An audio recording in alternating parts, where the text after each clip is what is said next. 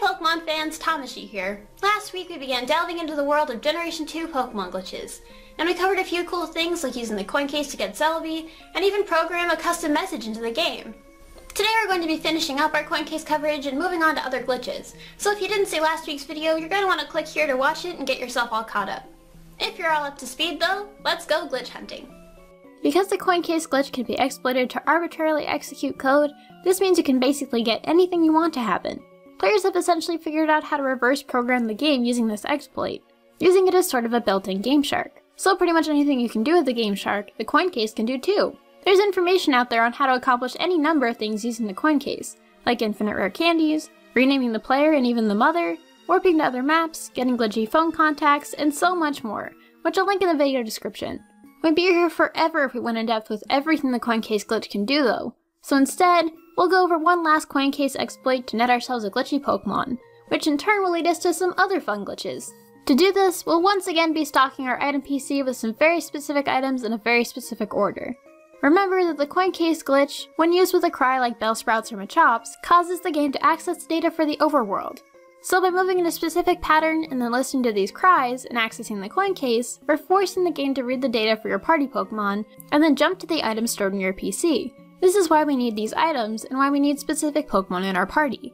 They basically act as a code, plugging in values for the coin case to arbitrarily execute. For this item code, we'll need the following items stored in our PC. These items will be pretty much the exact same ones needed for Celebi, with just one minor change. So if you track down those items, you should have just about everything you need for this one.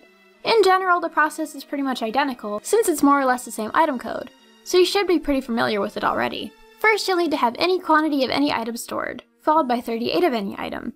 Again, I use potions because they're easy to get. Then you need 2 TM27s, followed by 42 freshwaters, 1 lovely mail, HM7, and 65 Pokeballs. Here's where the code differs from the one we used for Celebi though. This time, you're going to need to deposit 3 stacks of 99 Great Balls, so that the Great Ball is listed 3 times in the PC. Then withdraw 95 from each stack so that you have 3 stacks of 4 Great Balls. Following this, deposit 1 Everstone, any quantity of any item, 51 Surf Mails, 18 full heals, 42 flower mails, HM3, 1 X speed, 1 TM6, any quantity of any item, and 1 TM41. As for party Pokemon, you're once again going to need that Quagsire with Sleep Talk in its first move slot, holding an HP up in the fourth slot of your party. You'll need a freshly caught low-level Pokemon in the third slot, and a Pokemon that can fly in your party. If at any point the glitch doesn't end up working right, it could be that you made a mistake in your PC items, but more likely, it's just that your low-level Pokemon didn't have quite the right stats to make this work.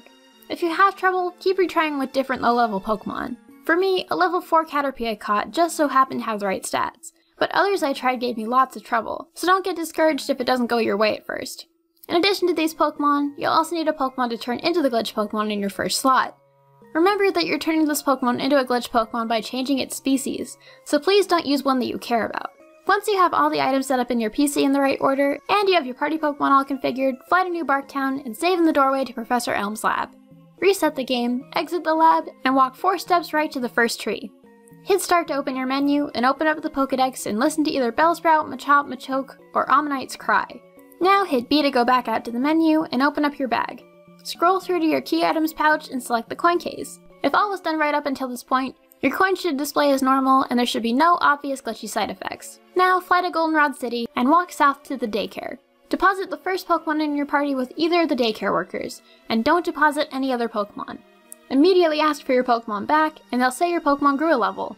When you get it back, it will have turned into a glitch Pokemon named question mark, question mark, question mark, question mark, question mark, with a hex number of FF. One final note on the coin case glitch itself, since this glitch was caused by an error when they were translating gold and silver, coin case glitches can't be performed in other localized versions around the world, nor crystal version, as they realized their mistake and fixed it for later versions. So coin case glitches only work on English language gold and silver games, and possibly only early versions at that.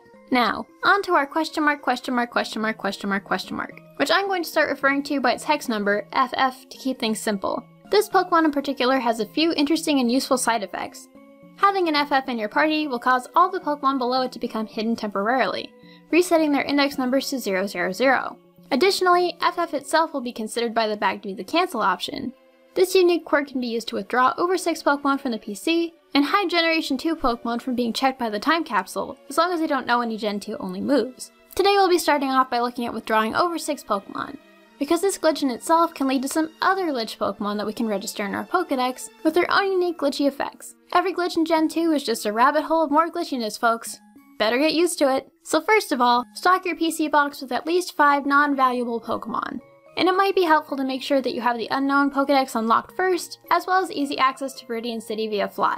Once you have the FF, catch Pokemon until you have a full party, assuming you didn't have one already. Then place FF in the first slot of your party, and using the Move Pokemon Without Mail option on the PC, withdraw the 5 you stored, placing them in the first slot of your party each time.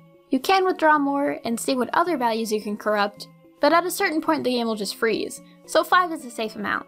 At this point, any number of things can happen to your save file and the Pokemon in your party, so make sure you're willing to risk the stability of your game.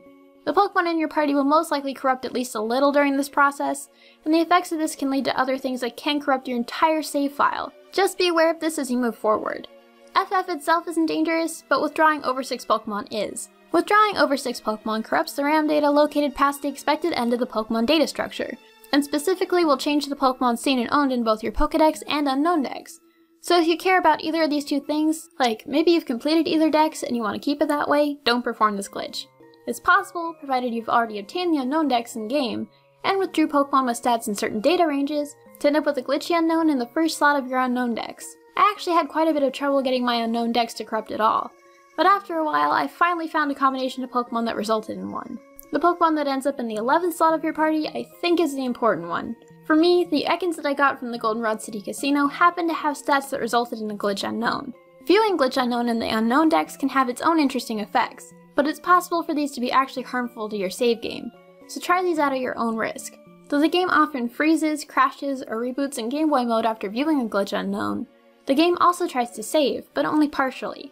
This means that even though the game resets, some values of your save data will be overwritten, which causes more data to corrupt, often including the mystery gift data. Indeed, you can pick up any number of mystery gift items from the delivery man depending on the hex number of your glitch Unown, and lots of other little places can be corrupted as well. You can end up with room decorations you didn't previously have, your mailbox can fill up with glitchy letters, and since mystery gift data is involved, you can end up with a glitchy trainer in your trainer house. There are, of course, other ways to get glitchy trainers in the trainer house, but today we're going to focus on the ones that are caused by Glitch Unown, and save the others for another episode. For every possible hex number that can cause a Glitch Unown to be registered in your Unown Dex, there's a separate effect at the trainer house. Some Glitch Unown won't trigger a glitch trainer, some will make the game freeze when attempting to battle the trainer, and some will make the game think that you've already challenged the trainer house that day even if you haven't. But a lot of Glitch Unown will trigger their own unique glitch trainer to appear in the trainer house. In most cases, they'll have at least one Pokemon that knows a glitch move that causes the game to reboot in Game Boy mode, or some Pokemon may be at some insanely high level, so usually you can't defeat them, but they're fun to mess around with. The one mine generated had a level 205 Machoke that only knew Double Slap. It's not all fun in games though. Remember how I mentioned that your mailbox can become corrupted? Well, if you view your mailbox afterwards, it'll be full of glitchy mail. All invalid mail will appear as a corrupted version of flower mail, signed with an unused character string, and if withdrawn and given to a Pokemon to hold, the game will transform it into an equivalent item depending on its hex number. So if the hex number is too high, this can crash the game. If the hex number of the mail happens to be the same one as the cancel option, the game will just appear blank when you try to read it. If you end up with too much glitch mail and attempt to scroll through it, this can spill out into other areas of the game and corrupt the overall data as well, causing the game to reboot in Game Boy mode, or cause a unique graphical glitch, where the map will corrupt and sprites will become corrupted, and the pack and save options will disappear from the menu. There are also reports that wild Pokemon and trainers outside the trainer house can become corrupted as well. Corrupted trainers will either have the party and name of the last person you fought in a link battle, or if you haven't battled anybody, their first Pokemon will be a Wigglytuff. The screen will display waiting, as if you were actually in a link battle, and you won't be able to continue the match. Though, seeing as all of my attempts to mess with the mailbox corrupted the map so badly I couldn't leave my bedroom, I have no way to confirm this. Once you've withdrawn over 6 Pokemon, getting the game back to normal can be difficult, since you've essentially corrupted RAM data. So definitely keep in mind that there may be no turning back, and the game saves every time you move Pokemon without mail on your PC. The game may still be playable after you've messed with this glitch, but it may never quite be normal again. That's all we have for today, but join me next time as we use our FF for even more mayhem. Really quick though, I wanted to let you guys know about a site called Opinion Outpost. Advertisers and businesses like to do lots of market research through online surveys, and to encourage people to participate, they offer rewards like cash and Amazon gift cards through sites like Opinion Outpost. It's a really nice way to earn some extra cash without a lot of effort. And if you sign up using the special link in the video description, you can earn an extra $2 for completing your first survey. Anyway, if you missed last week's episode, you can click right here to check out the first Gen 2 glitch video. Or if you want to go back and revisit the Gen 1 glitch guides, you can click right here to check it out. As always, don't forget to click here to subscribe for more Pokemon videos every week. See ya!